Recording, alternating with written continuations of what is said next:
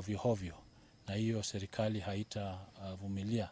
Kwa hivyo tuko hapa tulinde e, mali e, na wananchi uh, uh, wetu. Uh, two days sasa e, tumekuwa field e, tukifuatilia hao watu, lakini hao watu wanajificha wakiwa ndani ya ng'ombe. E, wameingia maeneo hiyo ambayo ni disturbed area, na tunasema kwamba lazima waondoke waende maeneo ambayo uh, haijatangazwa kama disturbed.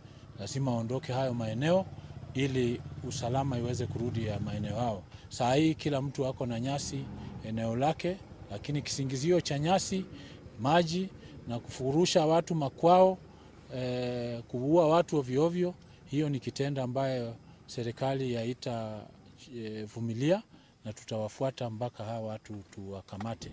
Kwa hivyo hiyo ndio tumekuwa kazi tukifanya kuanzia jana na itaendelea. We want to impress upon the leaders from Pokot community uh, to take out the animals from the disturbed areas and graze in the areas that are uh, theirs because kuna nyasi ya kutosha, na iwapo wanataka kuingia maeneo ingine eh, iko utaratibu iko wazee, iko peace committees, iko wazee na kila mtu wanaweza enda wakae chini na wakubaliane kwa malisho na maji, lakini kwa hivi sasa tumesema uh, kwamba all the disturbed areas must be vacated and we shall continue carrying out operation in those areas until we, five, we flush out the criminals who are killing people pretending they are herders.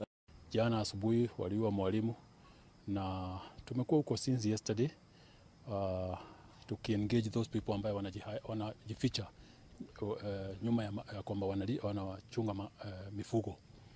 So jana uh, tuliweza kuwa engage, waliweza kutu engage uh, as we try to, to push them out of those areas because they are disturbed, ni, ni declared disturbed ambayo itakani anybody. So jana wakatu engage, leo tena the same thing wakatu engage, na bahati mbaya wameweza kupiga one of us risasi, ndio sasa tumetoka hapa kumwangalia na one of our vehicles ambaye ni OCPD imeweza kupigwa marisasi, so ni kwamba wamedeclare vita na tuko tayari, tuko tayari for that.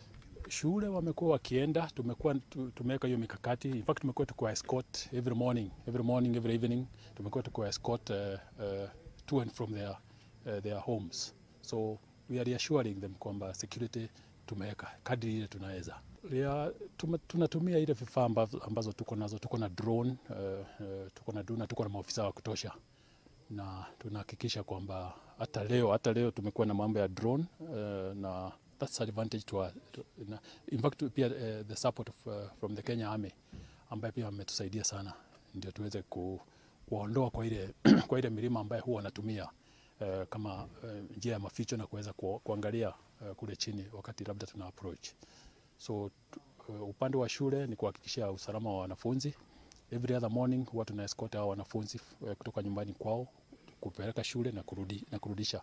Kuna walimu ambaye wana, wanaishi kwa ile shule ya Ngaratuko na pia tumeweka usalama, wanachungwa usiku, wanachungwa na maafisa wetu once and for all. Hiyo is, is a resolution ambayo imekuwa made na serikali and that's why you can see us here. Tume, tumetoka msituni ni, ni, ni kitu, these are the last kicks of a dying horse. That's why they are trying to engage us.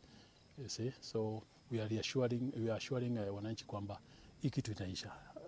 Uh, tujue kwamba ni kitu ambayo ilianza miaka ya zamani hiyo na it dies hard. Uh, vitu zingine dies hard but we believe it's a matter of time.